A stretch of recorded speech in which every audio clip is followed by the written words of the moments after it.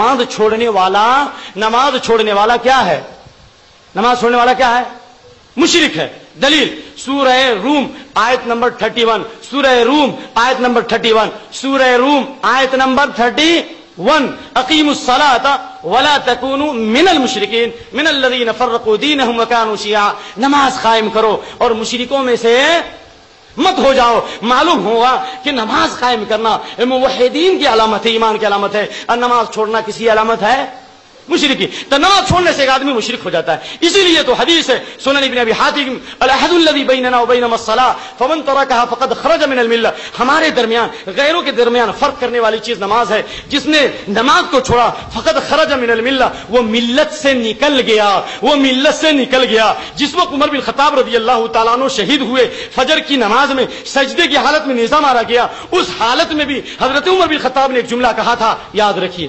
شہید ہوتے وقت کیا کہا تھا؟ لا حظ فی الاسلام، لمن ترک الصلاۃ جس نے نماز چھوڑ دی، اس کا اسلام میں کوئی حصہ نہیں ہے۔ اس کا اسلام میں کوئی حصہ بکھرا نہیں ہے۔ وہ اسلام سے نکل گیا۔ یہ صحابہ کا عقیدہ تھا۔ تو ایسا نہیں۔ آپ چھوٹے شرک سے بچ رہے ہیں، قبروں کے شرک سے بچ رہے ہیں، مزاروں کے شرک سے بچ رہے ہیں، لیکن نماز چھوڑ کر کے مشرک بن رہے ہیں۔ اللہ فرماتا ہے عقیم الصلاۃ ولا تکون من المشرکین۔ نماز قائم کرو، مشرکوں میں سے جاؤ محمد بنو۔ یعنی نماز چھوڑنے کی وجہ سے آپ مشرک بن جائیں گے۔ اور ایک روایت اور بتاتا ہوں۔ چالیس دن آپ تکبیر اولا کے ساتھ نماز پڑھیں گے۔ اللہ آپ کو شرک سے بھی بچائے گا۔ اور اللہ آپ کو جہنم سے بھی بچائے گا۔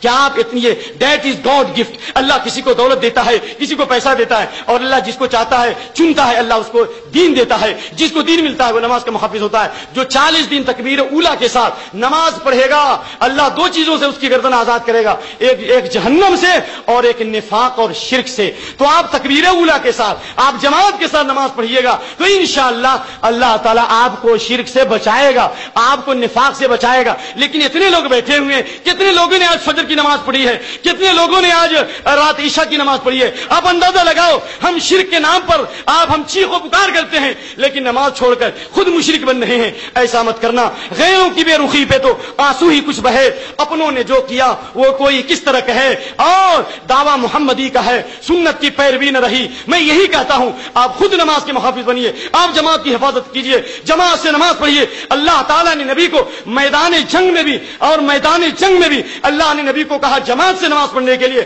آپ خوشحالی اور فارغ البالی میں سو کر کے آپ نماز کو چھوڑ دیتے ہیں اور آپ کہتے ہیں کہ ہم توحید پر ہیں، ہم شرک سے دور ہیں، ہرگز نہیں ہرگز نہیں، نماز چھوڑو گے، جماعت چھوڑو گے، کبھی آپ کی دعوت اثر نہیں کر سکتی، کبھی آپ کی زبان میں تاثیر نہیں ہو سکتی، کبھی آپ کے ذریعے ہدایت نہیں مل سکتی۔ اگر شرک کو ختم مٹانا ہے مشرقین کو کی اصلاح کرنی ہے، آپ کو خود موحدین بننا پڑے گا، آپ کو جماعت سے نماز پڑھنی پڑے گی، جماعت کی حفاظت کرنی پڑے گی۔ اللہ سے دعا ہے کہ اللہ تعالیٰ ہمارے اعمال کو درست فرمائے اور اللہ ہماری نیتوں کو خالص فرمائے۔ جنہوں نے اس پروگرام منعقد کیا ہے، اللہ دنیا اور آخرت ان کے چہروں کو روشن کر دے۔ بڑی خوشی ہوئی کہ آپ لوگوں کا یہ اجتماع دیکھ کر، آپ کا یہ برانچ دیکھ کر بڑی خوشی ہو رہی ہے۔ اللہ